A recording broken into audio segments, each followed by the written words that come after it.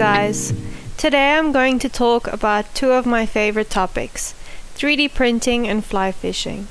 I had so much to say that I'm making two videos about it. So, this video is about me finding reel designs on Thingiverse and then making them. And then my second video will be me trying them out and then reviewing them. So I'm super excited about doing this video because it gives me a really good excuse to go out and fly fish. It also gives me a good excuse to learn about the mechanics of how fly fishing reels work. I've been fly fishing since I was about 8 and I've been a fanatic of the sport ever since. So before I start my review, I'd just like to say kudos to the people that designed these reels and put them out on Thingiverse. I really like the fact that you took the effort and time to create something really interesting. And yeah, I've been pretty impressed so far. So, for any viewers that like to take a crack at building any of these reels or checking out any of the other designs that these guys have put out, I'll put a link to their profiles in the description. So for those of you that have never heard about Thingiverse, it's basically an online community where people share 3D CAD models with each other with the intention of people then taking them and 3D printing them. So I was not looking forward to spooling five reels by hand because number one, it's time consuming. Number two, it's likely, if not guaranteed, that your line will get tangled. Number three, it's difficult to wind the line evenly onto a reel by hand. If you're a fly fisherman, you know exactly what I'm talking about. So to make that whole process a lot easier, I designed this product to help spool line onto a reel. Later, I'll upload a short video explaining it in more detail. I thought it would be interesting and make this review even more informative if I added a breakdown of how much each reel cost to make. So Prusa, the 3D printing company, have a blog where they share helpful information, articles, how-to guides, etc. On their blog, I found a 3D printing price calculator that I'm going to use to help me figure out how much each reel costs me to print. It works out electricity, printing costs, printer maintenance costs, etc. It's really useful and I'll put a link to that in the description as well. So without further ado, let's get into it, shall we? The first reel design is by Michael Hackney, which is apparently the first completely 3D printed fly fishing reel.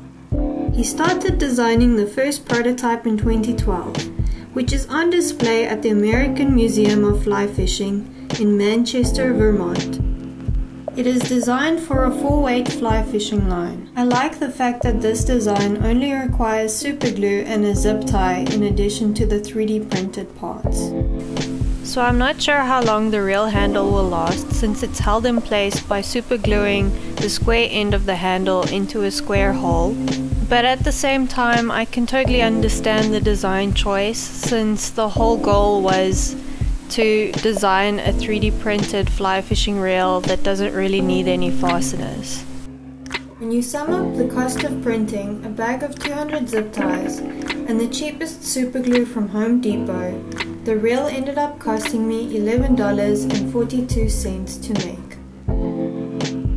But if we only add the cost of printing, one zip tie, and a few blobs of super glue, the cost to manufacture one reel is $2.48. The second reel was by Steve Thone and was designed to handle 3 to 4 weight fly line. It requires quite a few additional parts.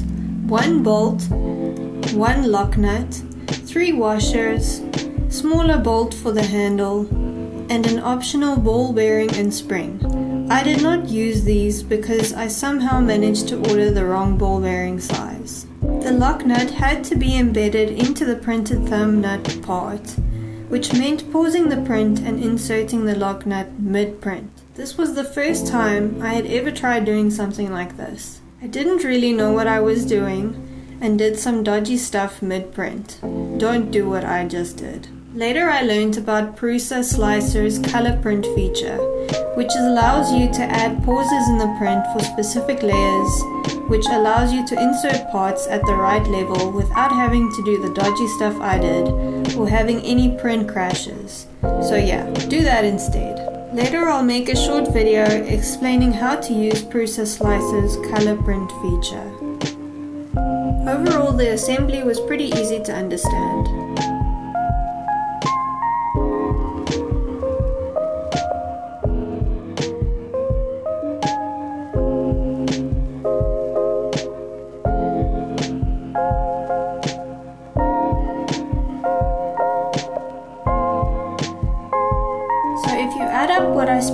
Buying parts for the reel and how much the printing costs, this reel cost me $36.57 to make. But if we pretend that I only purchased the exact amount of fasteners and glue that I needed for one reel, the cost to manufacture this reel comes to $6.28. Reel 3 is designed by a person with a username Juliano86 and was based on fly reels that they owned. So Juliano doesn't specify the line weight that this reel can hold, but if I was to guess I'd say it's about a 3 to 4 weight. It only requires a few additional parts. Super glue, 2 M3 by 10 mm machine screws, two M3 nuts, and one zip tie. Juliano mentions that the 3D printed clicker that they designed ends up breaking with extended use and recommends using a zip tie instead. I awkwardly needed to cut away a few millimeters lengthwise off the zip tie, otherwise it didn't want to fit.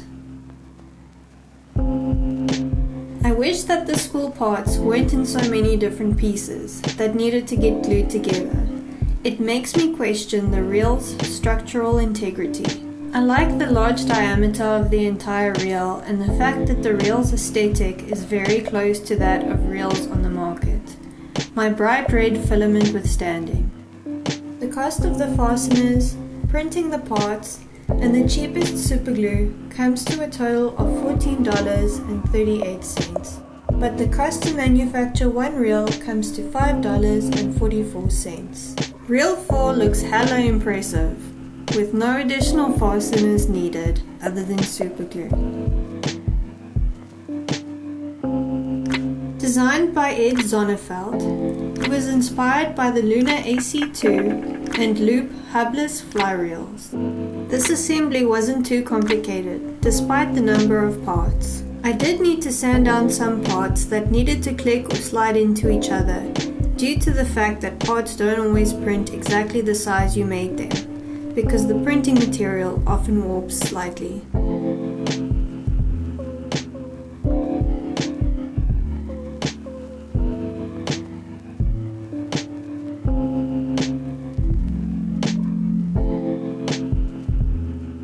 While assembling, I noticed that the drag hub is very difficult to adjust without using a pair of pliers, even after I sanded it down and lubricated it, which is not ideal for when you need to adjust it while out fishing. For those of you who aren't familiar with the fishing term drag, drag is the resistance that a reel gives when the line is being pulled out of the reel. It gives two options for the drag system in the reel. The first is the use of a clicker, which gives good drag resistance, but makes the reeling action a bit more difficult and less smooth. The second option, which I ended up choosing, is the spring pull system, which gives a smoother reeling experience. The cost of printing the parts and the cheapest superglue from Home Depot comes to a total of $7.84. But the printing costs and a few blobs of superglue comes to $5.41. Reel number 5 is designed by Erik Uppman and was made to handle 5 weight fly line. The overall design looks very sturdy, however it does require quite a few additional components.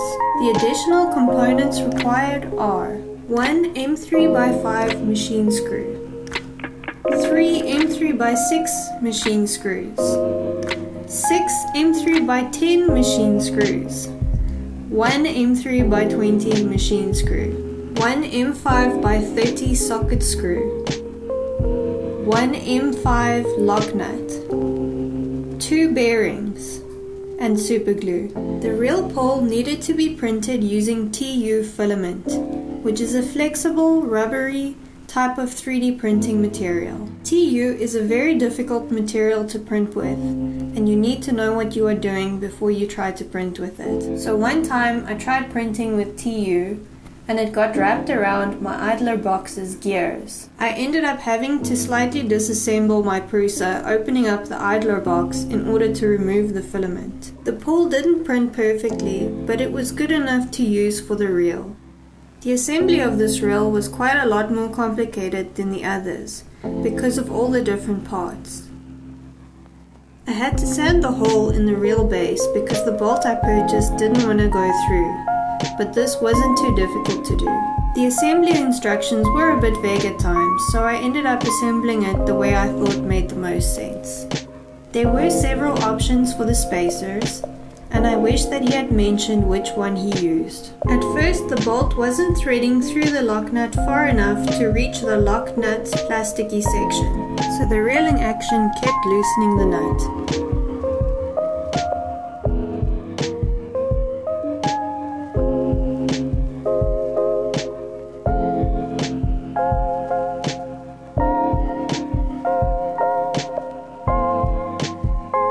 The lock nut over so that the plastic part would make contact with the bolt solved this problem.